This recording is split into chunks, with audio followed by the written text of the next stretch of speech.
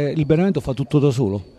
Sì, eh, questo è quello che nel bene e nel male ci dà la possibilità di lavorare, perché un po' come era successo in altri momenti di questo inizio del campionato, facciamo tutto noi, quindi bravi a passare in vantaggio, eh, non bravi a, a, concedere agli avversari eh, quel poco ma fatto da errori individuali, dai nostri errori, che permette agli avversari di poterci far gol.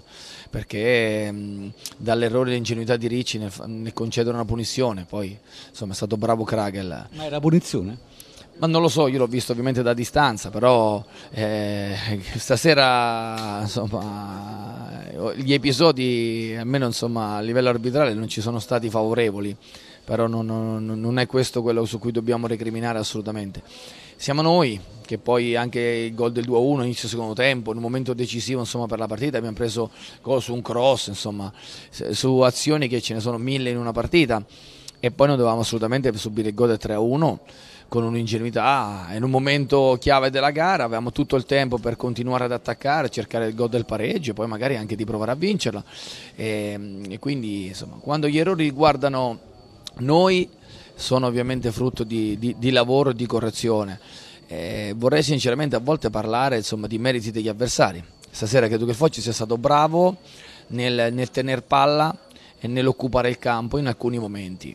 Ma come sappiamo insomma, è successo anche in altre partite, inevitabilmente la gara non può essere condotta interamente da una squadra, ci sono i momenti in cui puoi lasciare qualcosa all'avversario, noi per scelta a volte lasciamo il possesso, eh, però se contiamo, Pugioni non ha fatto parate. Questa è la verità, quindi insomma davanti a una squadra che non ha tirato in porta abbiamo subito tre gol, quindi ancora di più mea culpa e, e voltiamo pagina grande amarezza dalle tue parole. Questa poteva essere un'altra serata trionfale, un'altra notte diciamo magica con l'aggancio al primo posto, la, la continuazione della serie positiva, invece ci stiamo e vi state leccando le ferite. Ma credo che sia un bene eh, che, che, uno sia rammaricato perché evidentemente insomma, c'è voglia di fare veramente qualcosa di importante.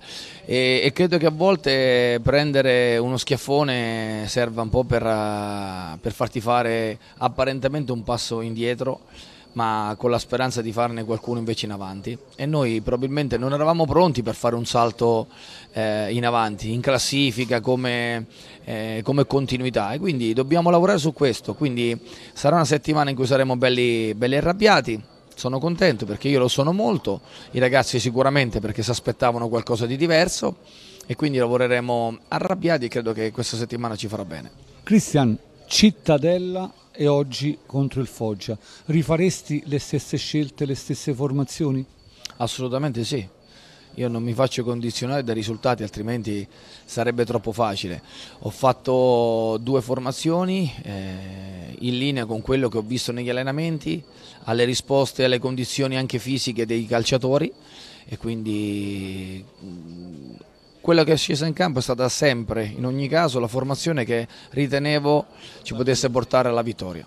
Questo l'ho detto ieri in conferenza stampa pre-gara, le mie scelte saranno eh, per gli uomini che io penso che ci possano far vincere, ma secondo alcuni togliere alcuni elementi eh, è stato un po' togliere continuità. Scusami, non voglio essere polemico, ma giusto per approfondire questo argomento che è stato dibattuto a lungo sia dai giornalisti sia sugli spalti dei tifosi, così facciamo chiarezza totalmente.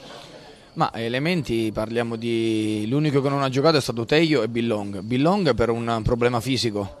Perché sì, però diciamo che Asensio ha iniziato a lavorare con la squadra la prima dalla, dalla settimana, anzi da due o tre giorni prima della partita con Lecce e ha giocato più di mezz'ora con la Serenitana, ha giocato 95 minuti martedì. Sì era difficile, ipotizzabile che avesse una continuità fisica tale da poter fare altri 95 minuti. E quindi Coda che aveva riposato sta bene, poteva essere l'uomo giusto e tenerci una carta importante come quella di, di Asensio. Ricci e Insigne sono due giocatori che stanno bene, in base alle partite, al minutaggio, al momento li valuto così, in Prodo è un giocatore che aveva sempre avuto continuità, l'unico cambio è stato in mezzo al campo dove Teglia aveva fatto due partite intere sia con la Salernitana che a Cittadella, inevitabilmente poteva avere qualcosa in meno degli altri e dietro c'è stato il cambio eh, dettato anche dalla non disponibilità di Billong e sono rientrati anzi tutti i giocatori che eh, rispetto ad altri erano freschi, quindi i Maggio, i Letizia, eh, i Viola, eh, lo stesso Bandinelli, eh, insomma, che non avevano giocato dall'inizio a Cittadella, avevano sicuramente una condizione anche fisica migliore. Io credo che fisicamente noi stavamo molto meglio del, del Foggia, il problema è che abbiamo commesso talmente tanti errori individuali eh, nella gestione della palla, nella gestione degli episodi, eh, nel non capire eh, che in certi momenti ehm, l'episodio va portato dalla nostra parte, perché, eh, ripeto, questo è un campionato dove ci saranno alti e bassi. E se noi siamo bravi invece a trovare un equilibrio eh, faremo la differenza. Il Verona ieri eh, ha perso a Salerno, la Salernitana dieci giorni fa sembrava una squadra in difficoltà, eppure ha vinto una partita. Ci sono gli episodi, ma quelli fanno parte di ogni gara. Noi stasera non siamo stati bravi a portare gli episodi dalla nostra parte, anzi li abbiamo serviti su un piatto d'argento al Foggia. Bene. Grazie Cristian, Sonia Lantella dallo studio, Mister Book è tutto tuo una mia curiosità, eh, nel corso della partita ad un certo punto è passato ad una difesa a tre spostando Letizia a destra a centrocampo perché?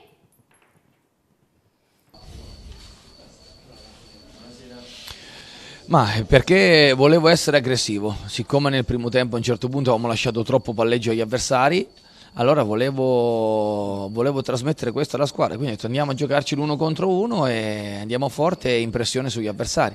Quello che avevamo non sbagliato, però eh, nel primo tempo avevamo lasciato, soprattutto dopo il gol, troppo palleggio agli avversari. Quindi avevamo corso eh, senza palla, ci eravamo innervositi e invece quello che volevo ridare alla mia squadra era occupazione dello spazio in avanti, quindi una difesa alta coraggiosa, eh, i quindi che andassero a uomo e credo che l'abbiamo fatto molto bene, anche perché il Foggia secondo tempo non è riuscito praticamente, tranne gli ultimi dieci minuti sulla nostra stanchezza, ad uscire fuori eh, giocando e noi abbiamo occupato stabilmente la loro metà campo.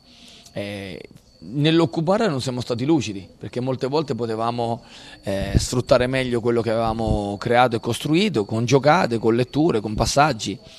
Eh, a questo aggiungo qualche episodio anche dubbio, direi, perché io almeno dalla panchina ho visto un fuorigioco fischiato a Letizia che arrivava da dietro, sì. che secondo me era invece regolare. Era un momento in cui eravamo sul velo di Ricci, sul velo di Ricci che non ha toccato la palla, quindi andavamo due contro uno sul, col portiere tra lui e Coda. E non, credo che fosse stata insomma, considerata valida sarebbe stata un'occasione nitida eh, in un momento delicato della gara. Eh, nel primo tempo io ho visto un contatto su Improde, il secondo non ho visto un atto su Letizia.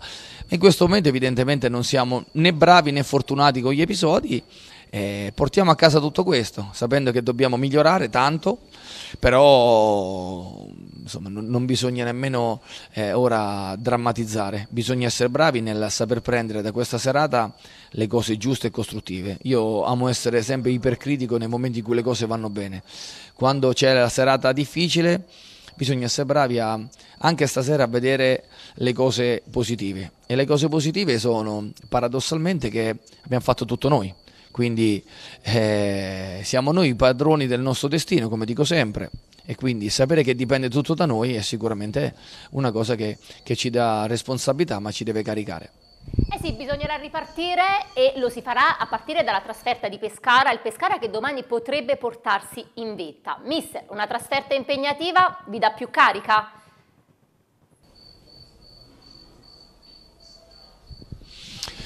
Sì, ma in questo momento eh, io credo che l'avversario dovremmo cominciare a guardarlo nelle ultime partite, eh, perché oggi noi siamo alla ricerca di noi stessi eh, come dicevo prima, siamo stati capaci contro qualsiasi squadra, contro qualsiasi modulo di, di fare momenti di, di, di, grande calcio, di tante occasioni, a momenti di sbagatezza o di eh, leggerezza o di non lettura dei momenti. Quindi noi in questo momento siamo a, alla ricerca eh, di un equilibrio che ci porterà a giocare sempre nello stesso modo, quindi propositivi, giocare all'attacco, cercare di rischiare sempre il meno possibile perché secondo me più giochi lontano dalla nostra porta più eh, riesci a essere pericoloso e a non rischiare. E alla ricerca di questo bisogna essere bravi, quindi questi passaggi fanno sì che ci sia anche una presa di coscienza che eh, gli errori che abbiamo commesso con Lecce o a Venezia non sono assolutamente alle spalle, sono sempre vivi e quando li commetti ogni avversario, Foggia, Pescara, ti mette in difficoltà. Domani mattina allenamento e martedì riposo?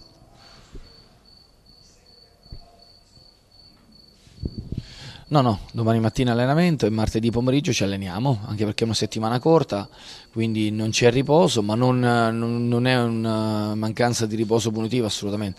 Era il programma che avevamo avuto, è un momento dove c'è da, da, tenere botta perché ovviamente eh, abbiamo giocato tanto, ma come noi anche i nostri avversari, quindi dobbiamo prepararci bene, eh, insomma con tanta rabbia dentro e dobbiamo tirarla fuori insieme alle nostre qualità nella partita di sabato.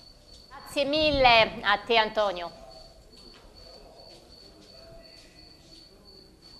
Sì, allora vado io a chiudere con uh, Cristian Bucchi, così lo congediamo. Abbiamo visto che ti sei intrattenuto a lungo con il presidente Vigorito uh, fuori dalla zona mix. Cosa ti ha detto, cosa vi siete detti?